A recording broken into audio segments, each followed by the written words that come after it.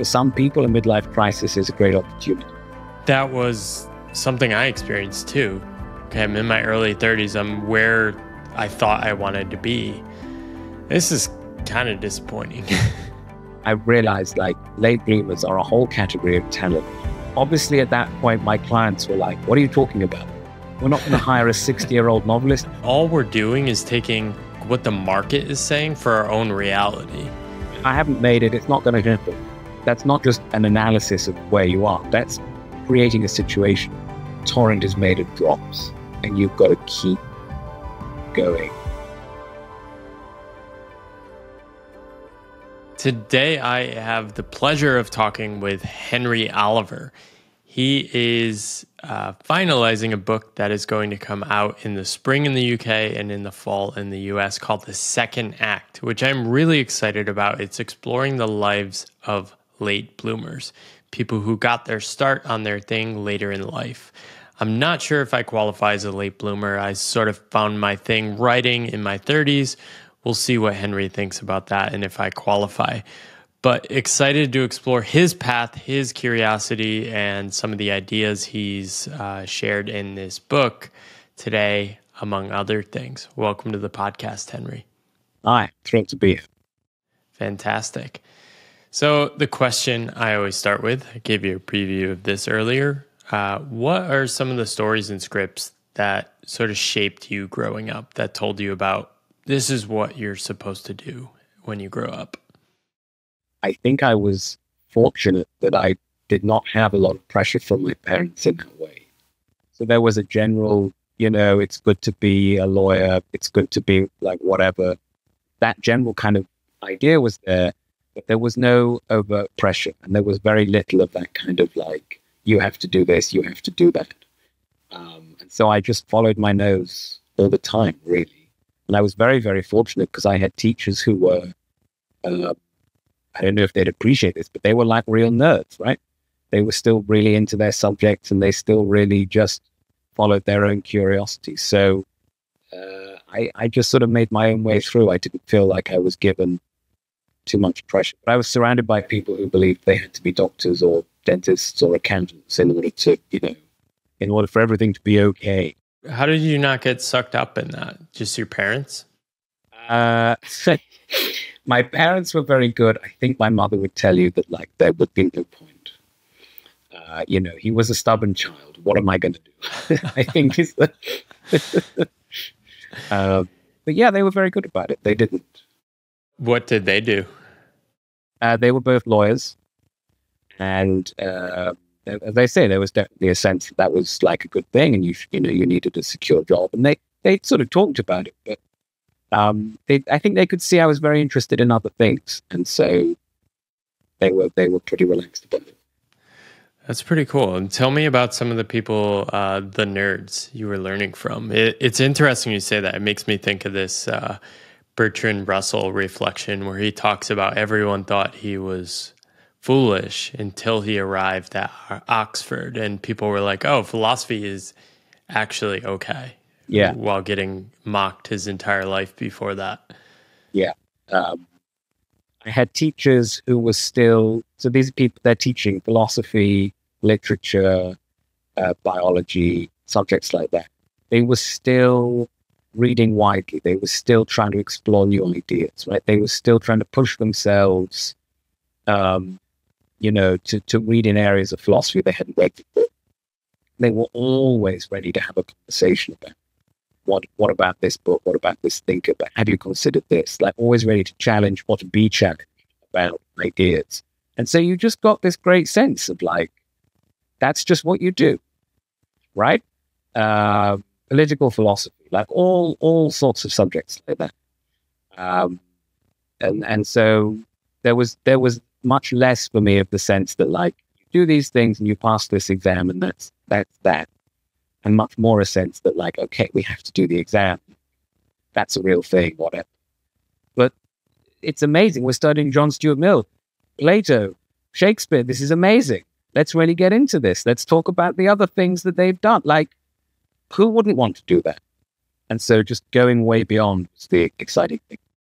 That's beautiful. Uh, yeah. Any of these teachers stand out particularly? You want me to name people? No, I just mean, uh, were there specific instances or um, like were there comments?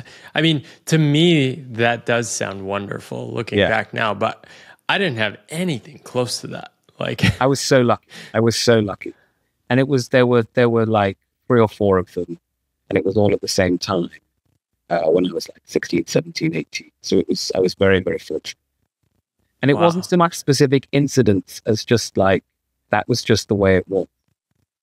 That was That's just the so cool. Yeah, it was really. I say three or four. There, there were more. It was really, it was really, really good. See, yeah, I've I've read some of your stuff you've written about John Stuart Mill. You brought him up, so I'm going to use yeah. that as an opportunity to dive right into this. Um, maybe tell us a bit about John Stuart Mill. I, I find his story fascinating yeah. because I mean, when I when I started reading his autobiography, I was sort of blown away. It's like, Dude. wow, this young person knows so much more than what I did, and it sort of broke my brain of what um, is possible. So, yes. yeah, I'd love to hear if he inspired you, if at all. I read Mill as a teenager, studied on Liberty for an exam, and I, you know, fell in love with with him. I read the biography, uh, and have subsequently just carried on reading him, carried on being interested in him. I think I've read all of the biographies of him. Uh, I've read, I haven't read all, like his complete works It's huge, but I've read a good chunk. I'm like, like reasonably familiar with too. Uh, to me, he's one of those writers. There are a few people in English literature who can just, they can just do anything. Right? And Mill, he's an economist. He writes a textbook on logic. He's a political philosopher. He knows a huge amount about French affairs and French literature and becomes the leading comment on French affairs in England at the time. He knows a lot about the ancient world, so he can review very authoritatively, like histories of Rome, right? Histories of Greece. And he, he keeps in his mind for his whole life this like idealized vision of Plato and and this really, I think, informs a lot of the the idea of like accomplishment, as you say, like really expanding what you think it is possible for someone to know. He is drawing that. He very. Um, and none of that is his day job. Like that's what's so remarkable about Mill.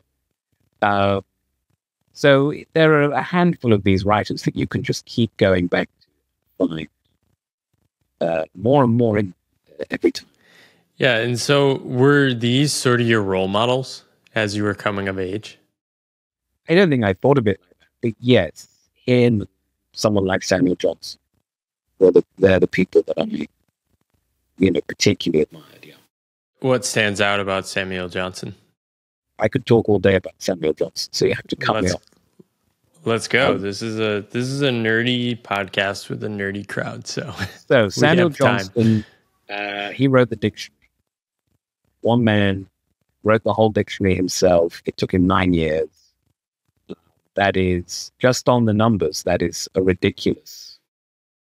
It, that it's like it's difficult actually. that is crazy. Yeah, and we're talking like forty-two thousand words in that dictionary. So that's quite wow. difficult to comprehend how he did that. There are um, his his innovation in this dictionary was definitions. So when we use a dictionary, it breaks down. These are all the different things this word means, right? And for some words, that might be dozens of separate meanings. Johnson invented that. Before Johnson, dictionaries were more like thesauruses. They just said, you know, here's a word that means the same as this word. And wow. they would, and for that reason, they would often concentrate on like slightly obscure words. Johnson was like, no, I'm going to define get, right? A word which I believe has two and a half thousand word entry in his dictionary. And the, the other thing he did that was remarkable, he gave quotations for all of these definitions, drawn from the poets, the scientific writers, the historians, like whatever the, the appropriate source was. And so it's an accomplishment both of writing. I mean, how did he how did he do that? But, you know, but also of reading. He read so many things. There are 115,000 quotations in his wow. dictionary. And so people used to read his dictionary at just like almost like it was a text, right? It would it would be an education in itself to study this dictionary. Um, now, so this is like it's difficult to understand how he did this level of, of accomplishment, and the definitions have real elegance to them. He didn't he didn't just sort of knock out you know boring stuff. They're still quoted because some of them are witty, um, and they were uh, I think seventeen hundred of them when they came to write the Oxford English Dictionary, sort of 150 years later, something like that. I think 1700 of their definitions they just took straight out of his dictionary because those were, you know, still like actually we can't do better than that definition. Um, I just pulled up. Uh, I just pulled up his online dictionary, Johnson's yeah. dictionary online. Great, so great I, I, I picked random word. So to bring this alive, color, spelt in the British way, of course. Uh, the appearance of bodies to the eye only, and uh, hue, dye. It is a vulgar idea of the colors of solid bodies when we perceive them to be a red or blue or green tincture of the surface, but a philosophical idea when we consider the various colors to be different sensations excited in us by the refracted rays of light reflected on our eyes in a different manner according to the different sizes or shape or situation of the particles of which surfaces are composed. That's pretty cool. Yeah.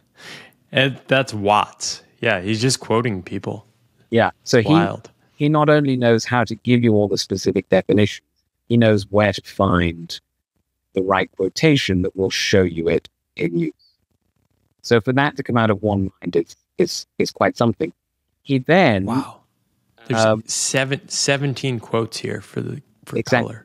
Exactly. this is wild. How did he this do it? This is such a good. This is such a good rabbit hole. Right. Um, oh, I'm, that that.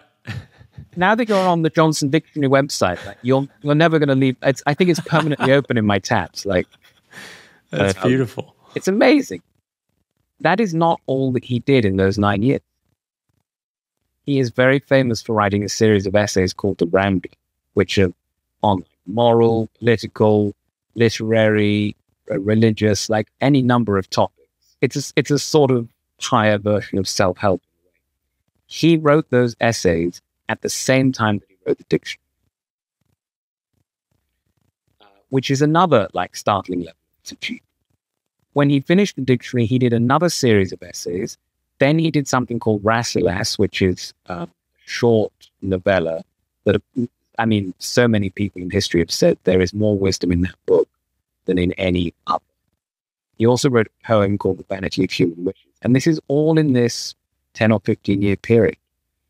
Um, a remarkable achievement. He then has a sort of a sort of fallow period, sort of three years where he seems to do nothing other than learn and get drunk. Quite literally, we don't really know what he lived off, really.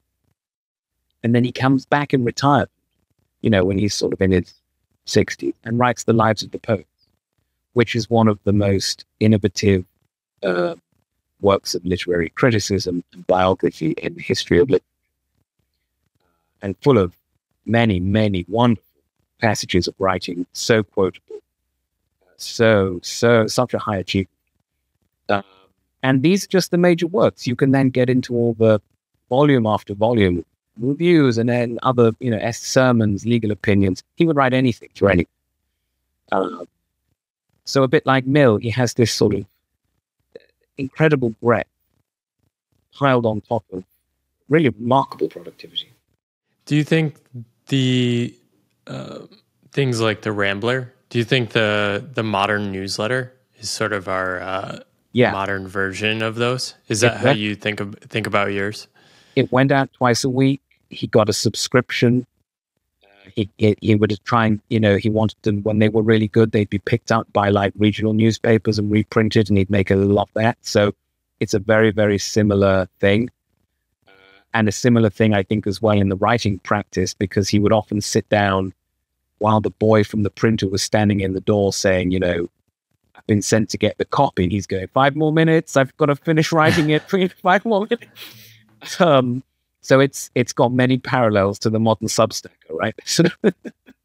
Working to a deadline. Yeah. What what is a common reader? The common reader is a phrase from Samuel Johnson. He was criticizing a poet called Thomas Gray, who had lots of like fancy language and old fashioned words. And Johnson was saying, oh, this is all unreadable. Yeah, it's, it's all just rubbish. And then there's a famous poem called An Elegy in the Country Churchyard, which you, I say famous, it used to be the sort of poem that every child at school in England, then obviously no longer. But when he comes to that poem, Johnson says, I rejoice to concur with the common reader. You know, this is a great poem. And it is only from the common reader that the final sort of sets of honors can be bestowed. And what he means is Johnson's very up on the idea of living in a commercial society. This is like the mid to late 18th century, so he can really see that like capitalism's here, commerce is here, society's completely changed. And he's saying, look, people buy books right? There's a market. And this is the big thing. This is the force that decides who survives and who doesn't. Like, yes, we have critics and scholars, and, you know, he's on the side of those people. But he's also saying, look, I'm writing off Gray. He's, he's pompous and purple and no good. But come on, everyone loves this poem and they're right to. And that's why, and, and it's true, he's still, you know, he still survives now for that poem. So the common reader is the, the non professional reader who wants to read the great works and who wants to like educate themselves in a way. And I think if you go on Twitter, it's that's everywhere, right? Common reader yeah. is a big force in modern culture. Well, you see people sort of uh, try to dunk on writers that are popular, right? It's like, oh, not Atomic Habits or Malcolm Gladwell's writing, but it's like, yeah, people people love that stuff. There's nothing wrong with it. I, in fact, like Gladwell's writing was sort of a portal to the deeper stuff for me. I think I think Gladwell particularly is a good example of someone who gets criticized for like whether he is right, whereas the achievement is that he spread those ideas so wide you wouldn't be talking about whether he's right. You would be talking about all these theories, all this social science. Right. He got that out there. That's really important. Um, what's changed since Johnson's time is that, you know, as Johnson said, men require more often to be reminded than informed. He was trying to get back to like ancient wisdom, religious wisdom, like we know all this. We live in an age where there's a lot of new wisdom. And so Gladwell, like, inevitably will be, you can look at a book like The Tipping Point or Outliers. That are relatively old now. Okay, the, the research has moved on. The particulars of the you know the numbers are no longer correct whatever. But there's still a similarity in the in the like the ability to show people. I think this is what's going based on this research and it's a very high achievement. I've written about it more than once on my substack because i i think he's very very interesting you have to take that seriously right how did you think about building a life around writing? It seemed pretty it seemed like it was clear to you early that you wanted to do this and it seems you majored in biography, which I've I've never seen as a major before. Um, so I imagine if you're picking something like biography, you are certainly intending to build a life around the written word. So to begin with, I I did a degree in English literature. And then I went back and did a, an MA in biography ah. a few years. But it's just a very similar thing. Right. Uh, I just did that. I just did that because I was interested. Uh, I didn't really, I didn't quit, like quit my job and become a writer until I was like 35. So, and I still do a lot of freelance marketing work. I'm not, I'm not one of these pure writers by any means. Uh, and I think, I, don't think you have to be. Um, so I didn't really build my life around writing it. It happened a bit later. And I didn't yeah, think it through th- at all. I like it. Yeah, how do you think about that balance between writing and other things? I mean, I I de- like writing for me is the most important sort of work I do. I love it. It's something I can't really not do. But I still do some consulting work and stuff. And I've never tried to solve that as sort of like, oh, I need to be completely a writer. And I almost wonder if there's some advantage to not having the pressure from writing. Did you have certain models about how you were thinking about it early on? I really didn't. It's it's really a case of like earning money. Yeah. And as you say, I'm I'm, I'm always going to write like around whatever it is I'm doing. Um, so that it doesn't go away when you're consulting. Um, and particularly the reading, right? I always think that at what half of all writing is reading, if not if not a much bigger number. Uh, that's always there, and I just I think it's a very pragmatic thing. Do you see yourself as a late bloomer? Uh, maybe that depends on how successful the book is. I don't know. It would be presumptuous for me to say that I've bloomed. I think. Fair. Yeah. Um, well, how do you? Yeah, how do you think about like success as a writer, and what's your relationship with those things? Success means having an audience, and it means um, it means people taking you serious. There's obviously a sort of an element of money and an element of um, being published in, you know, notable places. But I think in in all ages, what success as a writer has meant is people will read your work. Good, how, not just like you need good readers who, who are really sort of invested in it, respond to it, share it, and readers who are also writers. I think all of these things are significant.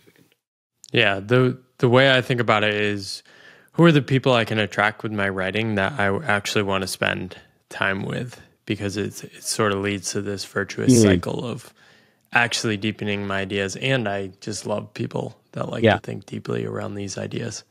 There's a lot of um, correspondence between writing and conversation. And again, that's very true historically, right? Yeah. What uh, what led to you uh, thinking about this book idea?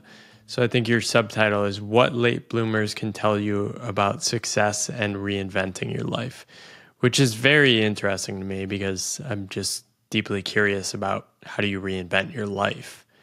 Um, yeah, how did how did the idea bubble up for you? The sort of marketing work that I do is employment marketing. So I I do research about organizational culture, what it is that makes a company attractive to go work at. And because I was the research and, and branding person, this meant I would always get questions from clients about uh, the labor market, right? And when you're in a tight market, everybody wants to know, oh my God, where can we get people? We've run out of people. Where do they um, and I, so you keep doing, you know, getting these inquiries and doing research and, and sending back, you know, slides or whatever. And I kept coming back to this like cluster of ideas around um, basically that said that we're not as good as we think at identifying talent.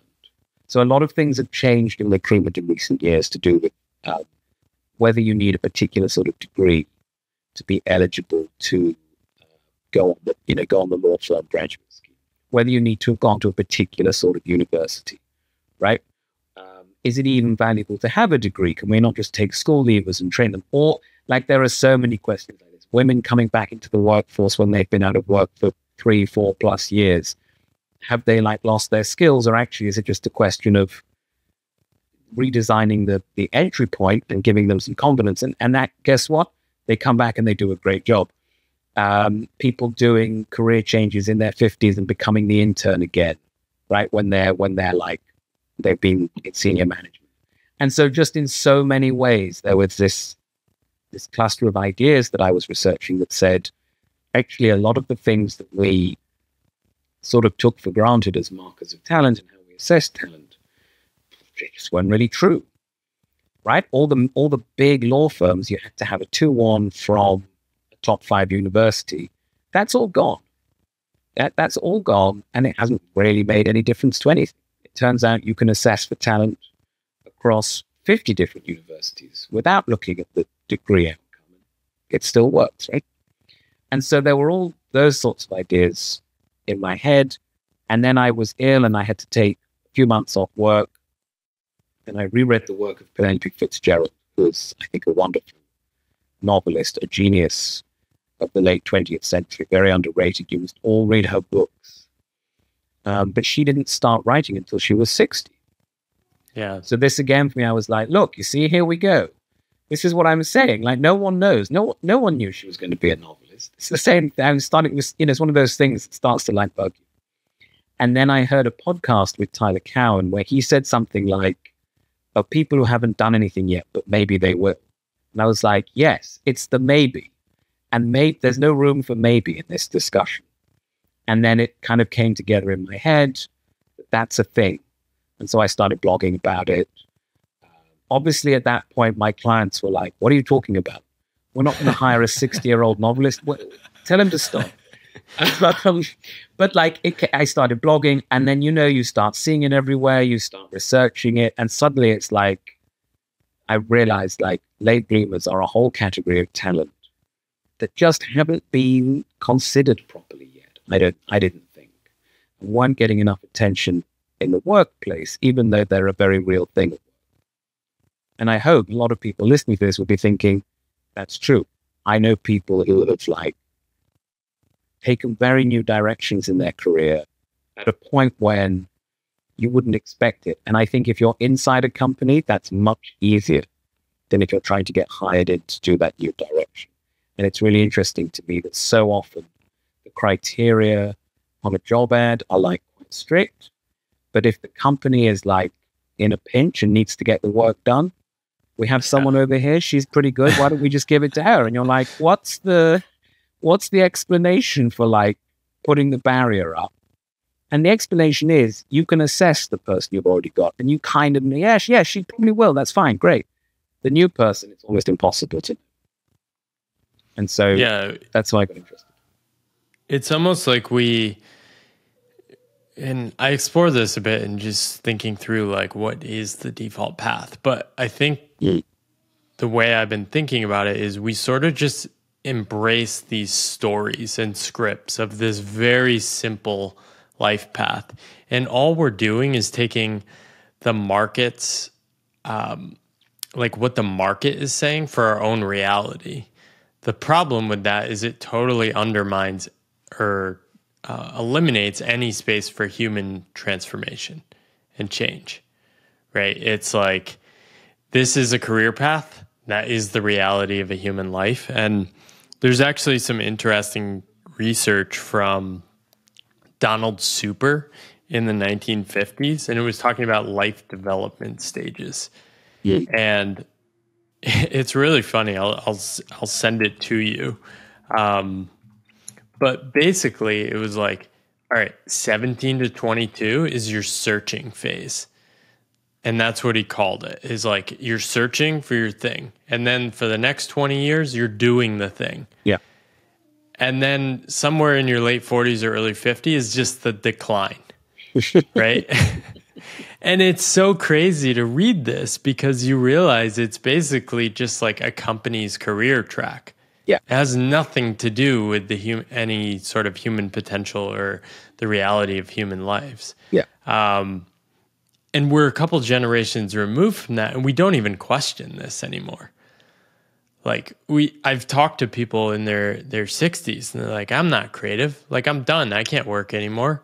It's like, and so I, I love what you're doing. Um, can you tell us a little bit more about Penelope Fitzgerald?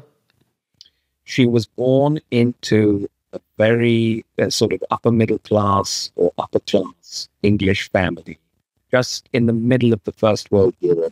Both of her grandfathers were bishops, and her father edited Punch, which was a, a very dominant uh, Victorian magazine. So she's really born into the establishment. Um, they're enlightened about women in her family. Her mother's been to Oxford. I, yeah. So she goes to her mother's college. And obviously, expectations are high, right? We're surrounded by bishops, and, and all of her uncles are famous. You know, Ronald Knox, famous detective story, right? One of them's a spy. Uh, one of them, you know, writes writes books. Like she's surrounded by all this accomplishment. She leaves Oxford. Um, she lives this sort of bougie life in London. She gets married to an officer in the army. This is the time of the Second World War. And then he comes back from the war with PTSD. And life becomes really difficult. And there's this weird period where she kind of could be writing, but she isn't writing. And she's doing some reviews and stuff, but there's no, we can't really see any fiction going on. It's difficult to know because she lost some of her papers. But she's doing like creative things. She's going to pottery classes and mm-hmm. stuff. But her husband's problems get worse and worse. He he starts drinking. They have to leave London to escape their creditors. They go to the coast and they live in this very unfortunate way. She's working in a bookshop. And then they come back to London because presumably the you know the money problem is over. But they can't afford rent, so they live on a boat. And after a while, the boat sinks and they're homeless. And eventually they get council accommodation and she's working as a teacher and they can sort of, you know, they, they get it together. And as a teacher, she's working in a sort of, it, it's like a grammar college. So, like, mostly girls from well to do families going for like Oxford and Cambridge intense tuition like classes to, to, to get them into Oxford and Cambridge, prepare them for those exams. And so to do this, she's rereading the classic works and she's paying very close attention to them. And she makes masses of notes about how exactly is it that Jane Austen's novels work? What is going on in George Eliot? What's Samuel Beckett doing to get this effect? She's really, really going into that. She's reading critical works. And her whole life, she's also studying languages, like German, Russian, traveling, going to the opera. And so there's a sense in which the two things in her life are this like personal catastrophe plus really deep learning. She just goes through the whole tradition again. So then when she's 60, husband dies, she's like, she's got lots of time on her hands. All of that can come together and she becomes a novelist of basically of experience. She can write from the experience of her own life, but she's also done all this deep learning. And so she does two sorts of books. The bookshop she worked in becomes a novel. The boat becomes a novel. The school becomes a novel, right? And then there are these four great novels at the end, four historical fictions set in Germany, uh, Russia, Italy, and England, all based on her traveling, languages, right? And so they are just, they're some of really the best historical fiction. And what critics at the time said was, how does she make it so Russian? I don't understand how, because she's so immersed in the language and the history and the culture and the fact she's been doing it for decades. And they're so short, these books. They're really, they're really like 50,000 words max. That's almost like novella. That she can, every word is exactly the right word to make it. Like the one, uh, the blue flower said in Prussia in the 18th century. it sounds ridiculous, but the critic who said, How did she make it so German? I mean, that is the right question to ask. It's it's really incredible. No one who reads that book ever forgets it. She wrote it, I think, when she was eight.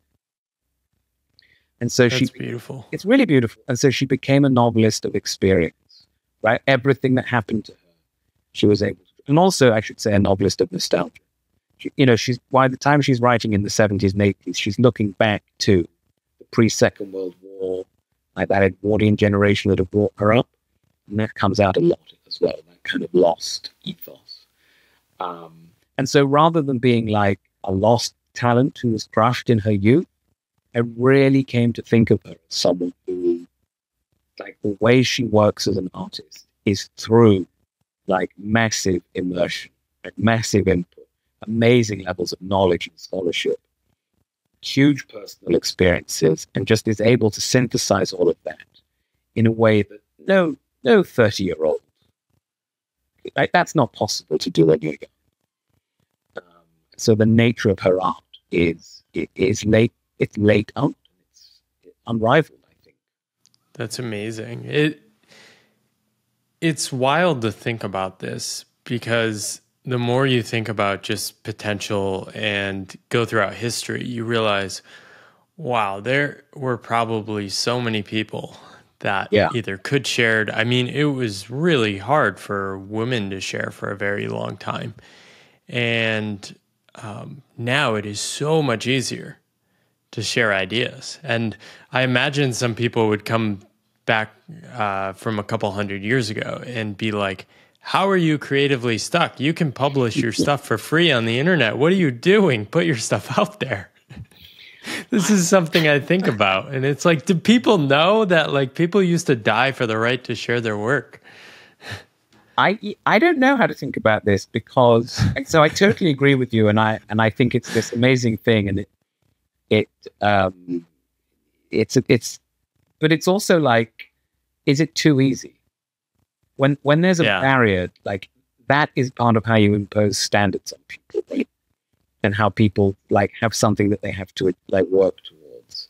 And and that also that barrier helps to impose the pressure of the pause like the people who came before me were so good they need to be so good. Whereas i wonder if the internet has like this dual thing with the benefit of being able to publish and explore and discover, but also the difficulty of like slightly removing burden. And the burden is part of what pushes you to achieve things. I don't know, but I, I wonder about that thing.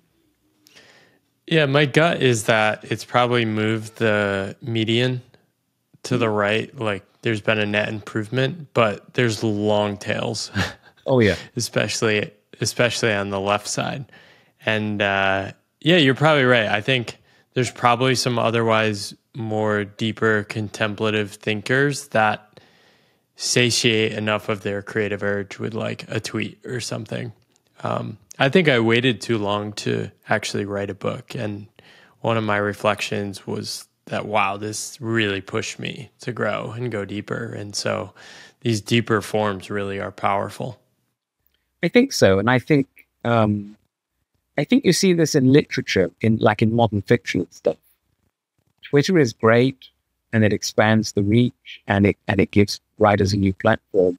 But there is a risk that you become really good at Twitter instead of really good at writing a novel, and I think that has happened to some people. And I think it. I think we should have it, and we should explore it, and we should have Twitter in fiction, and and keep going with that. But it's also like how many great tweets do you want to write versus like a novel?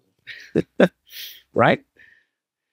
Yeah. And I'd love to ask you about a couple things in the book. I think yeah. one thing um, one thing that really jumped out to me and something I've been thinking a lot about is you, you write many late bloomers lack the cultural mil, I don't know how to say it, milieu, milieu, milieu. Yeah. milieu. There we go. tongue tied this morning. Um, that is essential to success. And I think this is something I've been exploring a lot recently. I was reading the story of Robert Caro. He walks into the New York Public Library and he doesn't talk to anyone for a couple days. He's super embarrassed. He doesn't want anyone to ask him how long he's been um, writing his book. Then somebody asks, uh, he says five years and they go, "Oh, cool. I've been working on mine for nine, or something like that." And he writes that this moment was like such a relief. He had finally found his people, and uh, yeah, that line really stuck out to me when you were writing this. Um, what are some other examples of this you've seen? There are several people in the book. I think um, sometimes people are shy, sometimes they don't know how, sometimes they're in the wrong place, sometimes like, you know, women aren't allowed in the club, like there are prejudices. There are so many reasons. Um, but there's a whole chapter with with people who, like Nathaniel Hawthorne, the great American novelist. I think Henry James said, you know, he's brilliant. And he's done so much, but it's a real shame because if he'd only shown someone his writing, and, and, and being with other writers, you know, he wouldn't have had to spend 15 years sitting in a room on his own trying to work it all out. um, and I think again and again, you see. So one one of the sort of theories I put forward is that late bloomers begin in, a, in a, an exploration stage where they're doing lots of different. So a bit like Penelope Fitzgerald with all her reading and learning, and right, sort of looking around the world. And at some point, they choose to switch and go into exploit. and, and just you know get the work done as it were. This is based on a paper by uh, Northwestern, I think it is, out of Kellogg. And um, a lot of times it's the network, it's finding your your group that is the thing that helps you switch. And a lot of times that's coincidental, right? It's very difficult to force that. Um, and it's very difficult to like contrive it. And I think I, I can't prove, I didn't put it in these like terms in the book because like, how can you prove it? But I think there's some, there must be something about the personality of people who bloom later that like this is not what they're good at, right? This, this is something that they have to find their way with. Yeah, and like Hawthorne is a good example. I think he stumbled upon the the like group in Concord right. in Massachusetts. There's a great book about this called uh, American Bloomsbury, and it it talks about like Hawthorne, Melville, uh, Marie Louise Alcott, um, yeah. and um, of course Emerson and um, Thoreau. They're all like on one street. they're like walking back and forth to people's houses. They're like all sorts of these cross relationships and they're all just working on their writing. Yeah. And it it makes you realize like how powerful that can be. And that that's something I've been trying to do. I I was actually co-writing with a friend this morning and um trying to talk about like how do we get more of this yeah together I have a and, friend, and I, he lives close by, and we've known each other since school. And I, this whole book is the product of me just chatting to him. Yeah, it's, it's really yeah. How does the power of conversation shape your writing? Well, I mean, I think partly it, it, it you just the more you babble on about something, you overhear yourself and think, "Oh, now it makes sense," right? Because you're forced to explain it to yourself in a way. Um, I think it's Charlie Munger. He talked about, um, you know, the the Warren Buffett's partner. He talked about how here's this thing like if you if you um, go into a room where there's an orangutan and you have to explain your idea to the orangutan, like after ten minutes you come out much wiser than when you went in. Um, I think that's a really good observation, and it's like it's also an argument for talking to yourself right? which again, I think a lot of people find like, I don't want to talk to myself. But there's only so much that your friends, your spouse are going to listen to you. it's interesting. I, I, I actually read my own words out loud as I'm right. typing. And this was something I've been thinking about recently. And I realized conversations really shape everything I do with writing. I'm sort of like talking it out to myself. How does this sound over and over and over and over again? And it uh, it is a very powerful thing. It writing is this mysterious thing that there's no right formula. You basically just have to like try stuff and treat it as this very sacred process.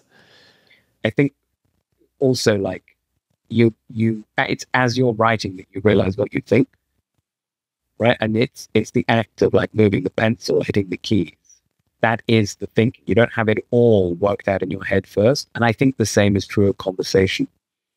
Like in a way the more self-conscious you are about trying to think up something to say the less successful it is. Whereas if you just talk the you know the words come out and you think oh great. Actually that sounded pretty good. Everyone's had that in a work meeting, right? Where they say something and then they think, I have got to write that down because like if I need to say that again to someone, I'm going to forget. it. So there's a shared thing where they're, they're both quite generative processes. I loved you pointed out in another one of your chapters was the power of uh, being disappointed early. Like I think that there is a quote in my first book by David Foster Wallace. He's like the great one of the greatest privileges in life is succeeding as early as possible, so you know it's not all worth it. Um, and said with a little more uh, David Foster Wallace energy, but um, sure, I think that was something I experienced too, which was okay. I'm in my early 30s. I'm where I thought I wanted to be. This is kind of disappointing.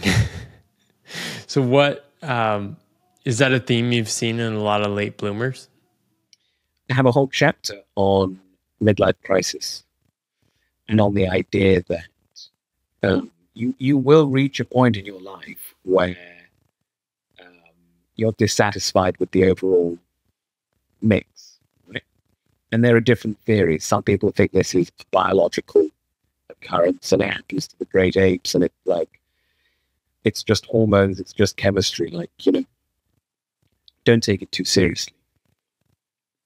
I think that the data on that are like less certain, and that the idea of the happiness U bend um, is I don't know. I think I think it, that used to look really convincing, and some of the data now looks much less convincing. And there's an argument to be said that like that U bend is very different across different countries, right? It's very different depending on the um, statistical techniques that you use to interrogate the data. It um, and it doesn't take very much account of individual variation it. So I sort of ended up saying, like, for some people, a midlife crisis is a great opportunity, and they should they should have a midlife crisis. They should they should like change things.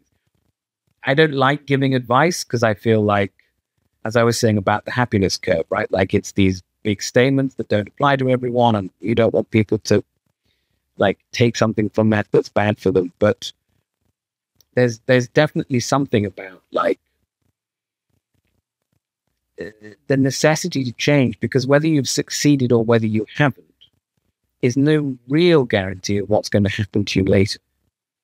Right? Just because you haven't made it yet. Like, I don't think that's a bit as strong an indicator as we think. Um, and letting it, letting it be an indicator is like that's a conscious act. I haven't made it. It's not going to happen. That attitude in itself is like that's not just an analysis of where you are, that's creating a situation. Again, I don't want to tell everyone, like, don't give up. Hey, everyone's going to get there and the prizes for all. Like, no, of course not. But I think it's important to keep that in mind. And I couple, there's some other research in the book about um, what's called a competency trap. So the other side of this is like, you can get really good at something, right? You're in your mid 30s, your 40s, you, you've become like an expert, become a senior person at work. You really know what you're doing. The idea at that point of going back to scratch with something just makes you think, oh God, I remember what it was like to be 23 and I didn't know and yeah. I had to make mistakes. And oh, it's just awful. I'm not going to do that. That could be a really bad idea. like the fact that it would be like uncomfortable and difficult and like you'd have to be look like an idiot. Okay, but you don't know that like you might not be great at that thing, or that you might not just really enjoy it, and that looking like an idiot is fine because it will be really fun and reward, right? Like you'll get a lot of value out of it. And so there are these two sides where, like, some you shouldn't be trapped by your own competence, and you also shouldn't be trapped by the sense that, like, oh, I'm 40, I'm in the slump, whatever. Like, don't accept that there are definitive things about either of those. It's an individual assessment. It depends so much on the situation you're in and who you are. Um, I've almost, I've almost like been radicalized against averages because I, I worry that they they don't tell you the, the variation. They don't tell you like how, how certain they are, and that it just looks a bit like that's the way it is for people, and it isn't. Yeah, yeah. I was reading this research that said uh, you're on average, uh, of course, on average, people's views at 19 predicted their views on money at like 30 years later. And it's like, well, like I know for a fact my views on money radically changed.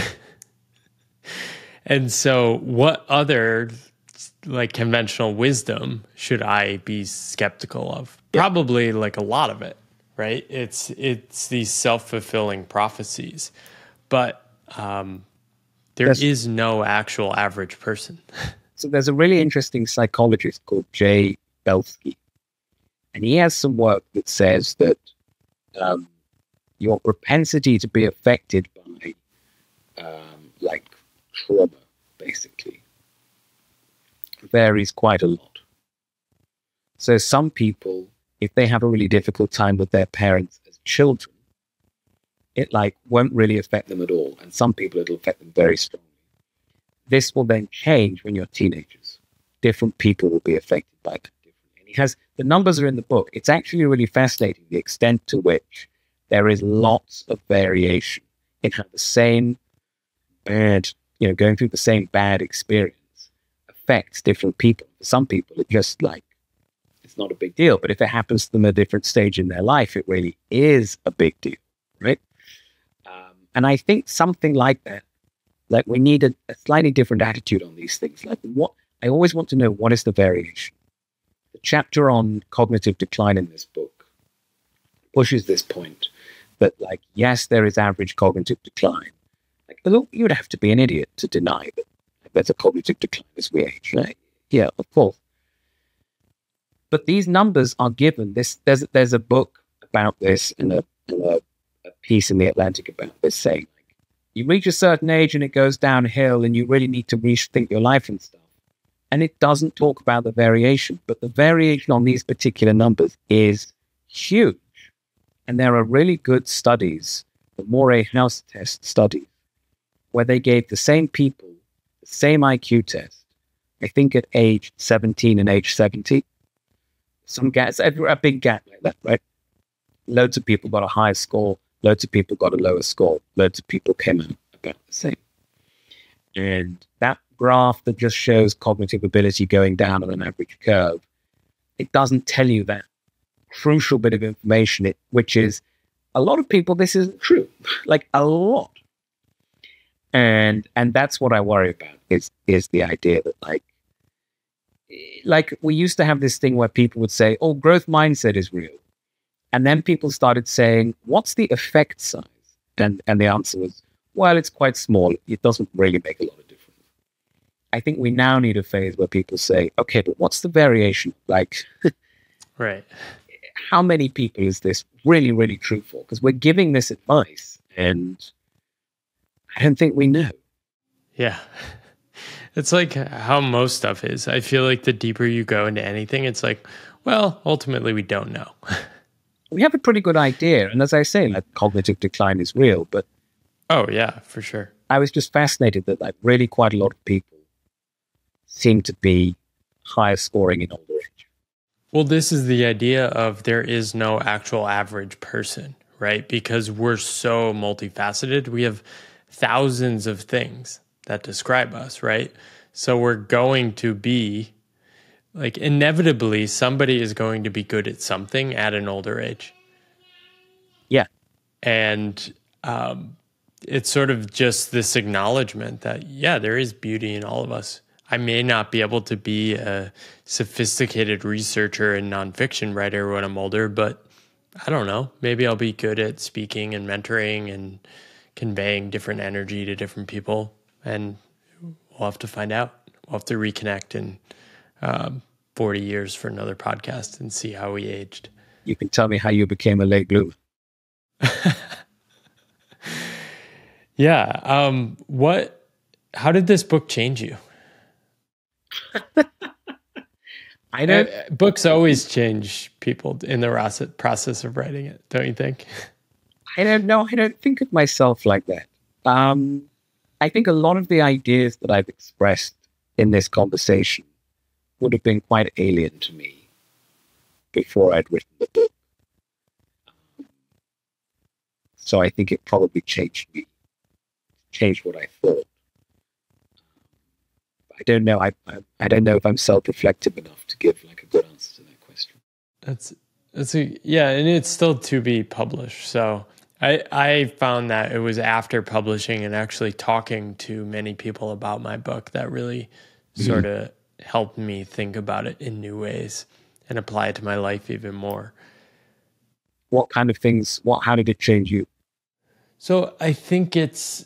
I mean, when you're writing, you're sort of it's such a personal act right and you're exploring these ideas and you then put them out in, into the world and random people start telling you what different things meant to them and um, asking you deeper questions about what you've already written and realizing, um, and then just noticing. I think actually publishing, putting my book out was the first time I was really like, okay, I'm a person who writes and shares ideas.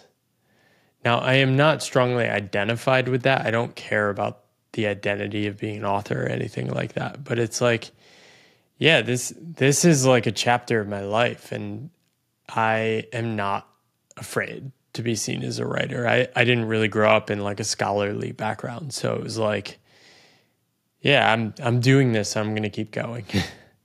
yeah. Yeah. So I, yeah, I don't even know. It's hard to think about, but yeah. I think I have I have a lot about that in the book as well. The way that you people change very incrementally, and you look back after ten years and say, "Oh, look, this person became a late bloomer by doing all this stuff," and it took them a long time, and, and they like they can say like, "Oh, I've become I've become a writer, and I put my ideas in public." You would never have anticipated this, but there's equally no moment where like it changed that day. Um, I think that's quite important for for like you talked earlier about like transforming your life. I think it happens. I think it happens like through sampling and, through in- incremental changes. What role did uh, Tyler Cowen have in helping you uh, do this project?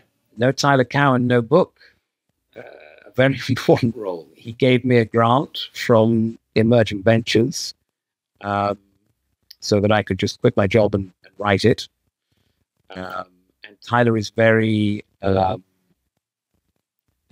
very supportive. You can email him, ask him things, send him things to read. Like he, he was very good on all of that. Um, but yeah, I mean, no, no, Tyler, no book for sure. Yeah, I love his um, quote. He said it in a number of different places, but it's like one of the most important things you can do is raise the ambitions of other people. And I think being on a creative journey, I've realized how rare that is and how special there are people like Tyler doing that for other people. And it's really something I'm trying to embrace too is like part of why I do this podcast is like I just get excited about what people are doing. Like I'm re- I love your writing so much. Thank like I, I, want more people to read it. And it's like I get so excited about that. Um I'm very pleased and to yeah, it it's so powerful. Uh, it sort of goes to what you were saying about the late bloomers and like finding yeah. those people to be around. And it sort of does like happen by accident. It's kind of crazy. It happens by accident. And this is where the internet is wonderful. It, the internet just creates so many accidents for you. Um, and it gives you a way of, like, I can just email Tyler Cowen. I, I shouldn't say that because, like, to, yeah. loads of people will email him. Um, but like the fact that you can just email. No, he people, he responds to everyone. I've but, emailed him too. But you know what I mean? Like you can just you can be nobody. You can be online reading, you know, looking things up. Email someone who's interesting. Like this is an unprecedented level. Of, and yeah, sure, a lot of them don't reply, but you know, I, I was working on the gender pay gap a few years ago in my job. Um, and I emailed Claudia Goldin, the Harvard economist. I had two like snickety questions. And she got back to me that afternoon and was like, Yes, but you've forgotten this point and, and look at this paper. It was, Eh, you know, it's incredible that you can do that. And I think it's under, still underrated. Like email is still underrated. yeah. What do you think Samuel Johnson would be working on today? It's an interesting question because he was fascinated most by biography. And biography had a boom in the 20th century. There were the Michael Holroyd generation, uh, these big, vivid, well researched biographies, and this whole generation of people going back and, actually writing about figures from history who were gay, actually taking seriously the women of history, right? This whole we had a, we had a great boom of biography. Um, I don't know if we still have that, and I don't know. I think AI is a very interesting challenge to the biographer. Um, but the major difference is that these biographies are huge, where the modern biography is like a thousand pages and sort of intimidatingly long. Whereas Johnson wrote, I mean, what we would think of as one chapter maybe would be his whole biography. So he had the, the really the art of concision. And I think that will become much more important in the age of AI, right? You versus ChatGPT, probably you shouldn't write a thousand pages. Um, and Johnson would have been really good at that. He was he was absolutely brilliant at uh, short writing. So I think he'd be thriving. I think he'd be doing really well. And he'd put the Rambler on Substack. He'd, he'd be great. I'm sure somebody has uh, the Rambler as a name. If they don't, I'd be surprised. But um, yeah, that that's beautiful. Any other like for people on like I write for a lot of people that are sort of carving their own path. Some people still doing gigs on the side. Some people still trying to find their thing. Some people finding their thing and trying to build a life around that. What are some of the lessons from the the late bloomers you think somebody in the modern world should embrace? My favorite, I think my favorite late bloomer is Audrey Sutherland, who was a kayaker. She ought to be famous. Uh, she is famous among kayakers. She ought to be famous among everybody. She uh, she went in an inflatable kayak to explore the coast of British Columbia and Alaska throughout her 60s and 70s and into her 80s. She'd never kayaked in, in cold waters before. She was doing this on her own. She had bear encounters. Like it was, it was really fantastic. And her memoirs it so worth reading. And she was a single mother. She like she had a job, but she wasn't like you know well off. She had four kids, and uh, she only started really doing these kind of coastal explorations and kayaking in her 40s. She'd been a very competent swimmer before that, but she really developed throughout her life. And she used to give talks. And at the end, you know, kayaking talks, right? About how to, how to do particular things. But at the end, she would say, close your eyes. Someone's going to give you $5 million. Okay. Think about what is it you're going to do? with your life now that you have the five million. This is like back in the 90s. So whatever the number is, to, I don't know the number, but like, what are you going to do? Billion. yeah, but like, you know. I'm just kidding. It's like, I think 5 million would still do it. Five million is still pretty good. Yeah. I would um, do stuff for far less. but then, but then she says, okay, so open your eyes and tell me, like, why can't you just do it now? Right. And one time, this, this you know, grumpy man stood up and said, "I'll tell you why I can't do it. I have, I have a wife, I have children, I have bills to pay. My parents are elderly. I've got a mortgage, right? All, all the usual stuff." Yeah. Uh, but of course, he's saying this to Audrey Sutherland, who's a single mother with four kids, and uh, you know she knows much better than him, like these problems. And she said, "Okay, you have to find something that you can do today. You have to just where can I start right now?" And she was always like, if she saw good rope that someone had discarded on the side of the road, she would take it. Anything like that, she would take it, repair it, make use of it. She would study maps. She would go to the sea near her house and practice capsizing and bringing something. Anything, anything you can do, you just constantly these marginal gains. Uh, to the extent that her table, her, her dining table, was glass topped, and under the glass were the maps of British Columbia and Alaska. So she's always just trying to make these incremental gains. And that's how she ends up doing what she does. And I, you see this in several of the case studies, and I think it's really the most important advice. It's not a question of how do I quit my job today and do my dream. It's a question of a, a torrent is made of drops, right? And you've got to keep going with anything you can do right I love that example so much. It resonates with my story. I think one thing I've tried to pull out in this podcast is I think the I quit um, in a bold moment of courage is sort of a fake story because, it, and I think why it gets told is people expect that story and they yeah. think they're supposed to tell that story. But I'll always say, like, what is something that happened three to four years before you quit, or five years, or 10 years? There's always something. Yeah. There's always these small moments, and you don't see it looking forward, but you do see it looking back. Um, and I think knowing that, sort of with what your book is saying too, can give people confidence that it isn't these bold moments of courage. It's these small moments of just sort of following your curiosity and also adopting the idea that it's not over. Like you're you're not yeah. Your current path is not your final path. Um, but so I go back to yeah. Penelope Fitzgerald where we started. She publishes this her first novel when she's sixty, but she's had years of the houseboat and homelessness and all these difficulties. And what is she doing? She's teaching herself German. She's reading great literature. She's going to the opera. Like she's building it up day by day, right? That's exactly as you say. If there is this one moment, comes at the end of a lot of preparation, acclimatization, like accruing what you need to do it. Do you have any path role models? What do you mean?